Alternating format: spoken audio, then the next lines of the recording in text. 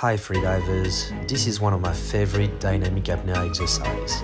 You need to choose a distance, today I choose 100 meter, and you need to swim as slowly as you possibly can for that distance.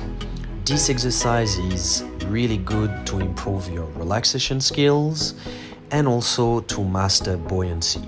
I like to call this Tortuga dynamic and I'll let you discuss about what sort of dive time and distances we should do for the base training of the Molchanovs freediving education. At the same time as training this exercise, I'm also going to the gym twice a week to increase the strength in my legs so that I can swim comfortably faster and faster. I recommend you to do this exercise with short fins because it's easier to get the right direction the material doesn't matter, it can be carbon, plastic or silicone like mine. Enjoy!